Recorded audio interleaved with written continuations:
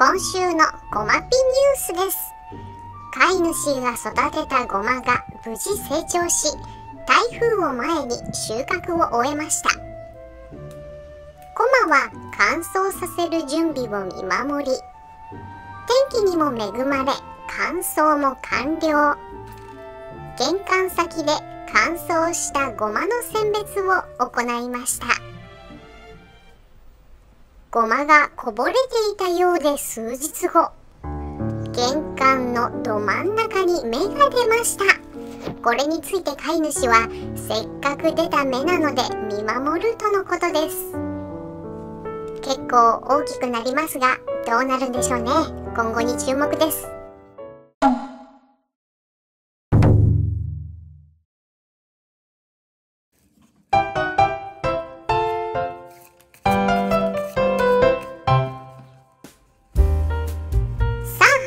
ました占いコーナー。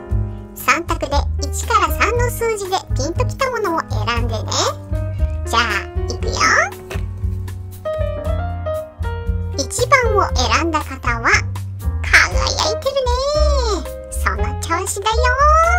ピカピカピカピカ2番を選んだ方はイベントに行ってみよう。ワイワイワイワイ。ガヤガヤガヤガヤ。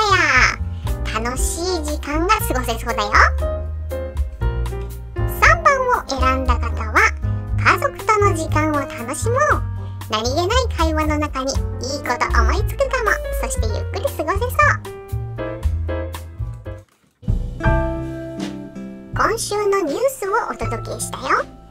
構成新たに週末はニュースと占い。ご視聴くださりありがとうございます。良い1週間。